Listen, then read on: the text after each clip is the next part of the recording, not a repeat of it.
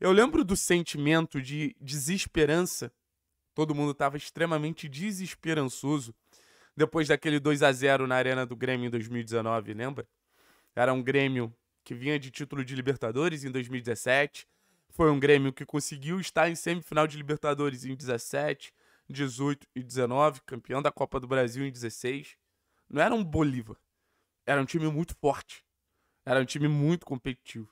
E o Atlético ele tomou um banho de bola muito maior do que tomou contra o Bolívar naquela partida na Arena do Grêmio. Foi um jogo onde o Atlético não viu a cor da bola. Um Atlético envelhecido, um Atlético pouco confiante, um Atlético que via a situação muito parecida. Eliminado na Libertadores, esse ano a gente eliminado na Copa do Brasil. Numa tabela de meio de campeonato no Campeonato Brasileiro. Provavelmente, essa tabela atual, o Atlético está melhor do que estava em 2000 2019. E o Atlético chega pro jogo da Arena da Baixada com uma missão. Ou virava o jogo contra o Grêmio, ou basicamente as pretensões de título naquela temporada terminavam. Ou virava o jogo contra o Grêmio, ou era focar no Campeonato Brasileiro até a temporada terminar numa sensação de frustração muito grande, sabendo que poderia ter chegado mais longe. Ou virava contra o Grêmio, ou a temporada ela perdia cor. E vocês sabem o final dessa história o Atlético virou contra o Grêmio em uma das grandes remontadas da história do clube. Em um dos grandes jogos que o clube viveu nessa fase mais vitoriosa da história. Gol do Nicão, gol do Marco Ruben, nos pênaltis o Santos garantiu. Eu só quero lembrar que era um Grêmio muito melhor do que esse Bolívar. Eu tô aqui não para comparar 2023 com 2019, acho que cada ano tem sua particularidade e é normal.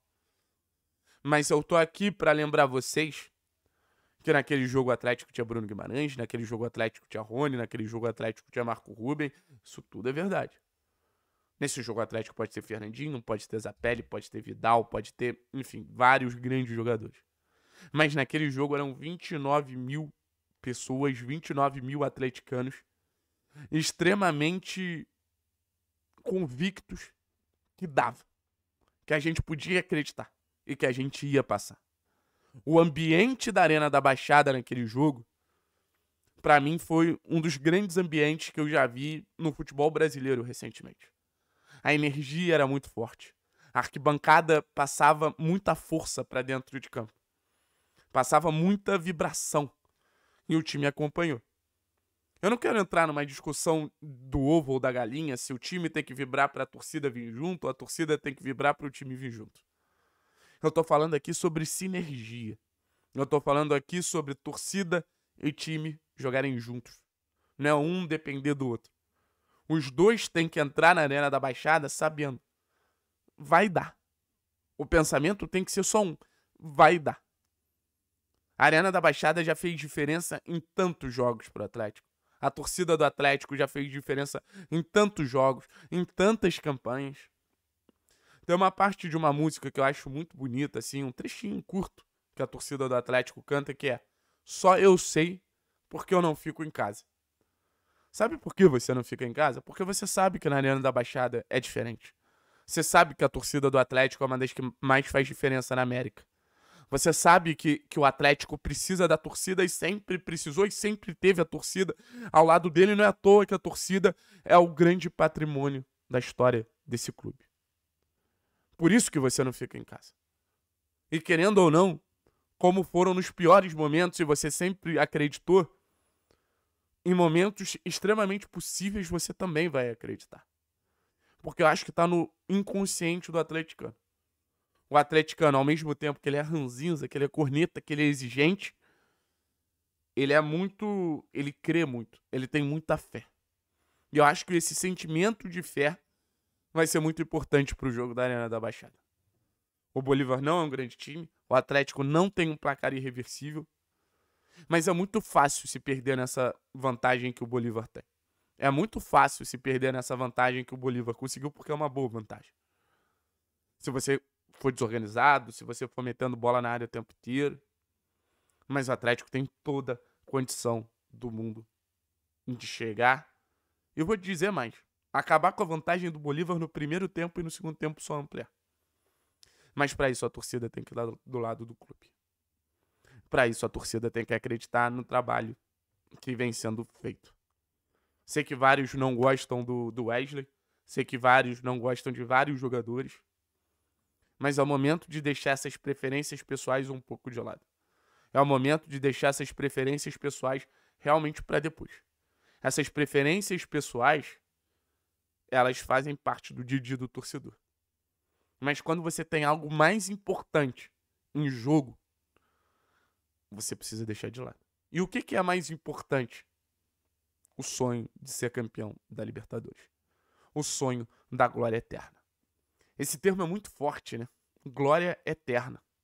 Porque a gente sabe, sentar na mesa dos campeões da Libertadores é, é diferente. Talvez seja o que falte para o projeto Atlético Paranaense ser consagrado pelo projeto absurdo que é. Talvez o melhor projeto do futebol brasileiro. A gente já bateu na trave duas vezes e a gente sabe como dói. Em 2005, pênalti do Fabrício.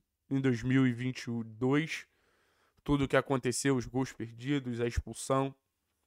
Esse sentimento que a gente chegou muito perto e que a gente não conseguiu é frustrante, mas ao mesmo sentimento que a gente tá muito perto. E com certeza os deuses do futebol não escreveram um manual de como se ganha Libertadores. Mas é muito fácil perceber que qualquer roteiro para um grande campeão de Libertadores tem uma torcida muito forte ao lado.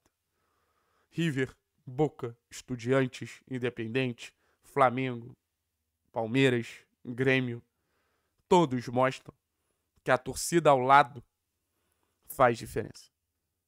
E não vai ser o Atlético que vai tentar provar que isso está errado. Então, se você está em dúvida se você deve ou não ir na Arena da Baixada no próximo jogo contra o, o Bolívar, não pensa duas vezes.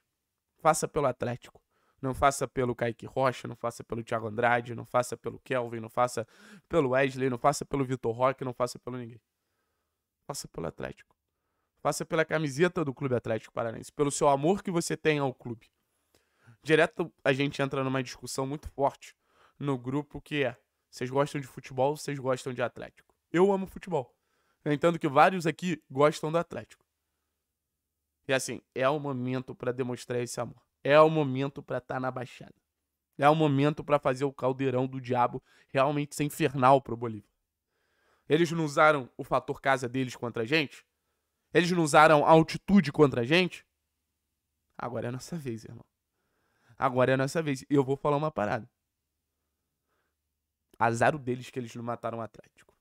Azar deles que eles não mataram o Atlético. Porque quando você tem a oportunidade de matar o Atlético, você tem que ir até o final. Porque senão o Atlético ele vai atrás de você. E o Atlético ele vai atrás do Bolívar.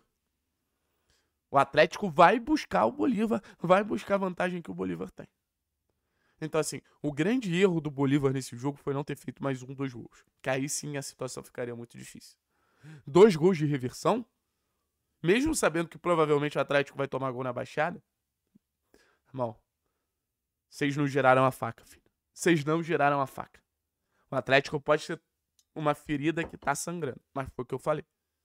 Tá na hora de cicatrizar essa ferida, fazer um, uma, o, o curativo mais simples possível por uma semana.